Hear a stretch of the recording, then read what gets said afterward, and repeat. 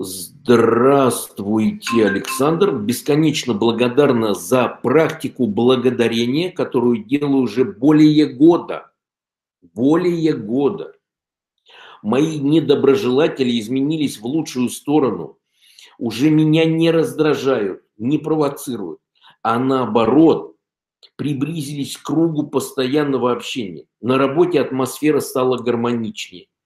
Нет стычек и претензий Шеф не вызывает на ковер. Стали премии выдавать чаще.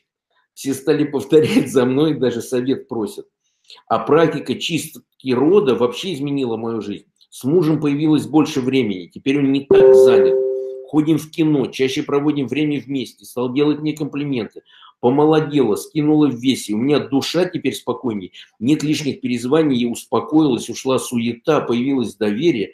Научилась говорить положительные, э, научилась, стала замечать положительные черты супруга, научилась говорить ему о них. Ему так стало приятнее, он меня стал баловать. Мы как будто вернулись в наш конфетно-букетный период влюбленности и романтики.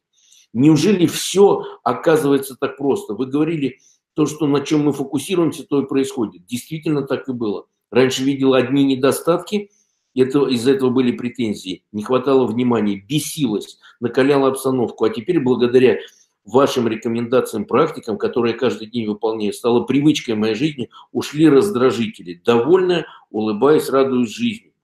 Э, потому что научилась благодарить благодаря вам. Вот смотрите, конкретный, совершенно четкий пример. Больше года качество жизни совершенно улучшается, совершенно меняется.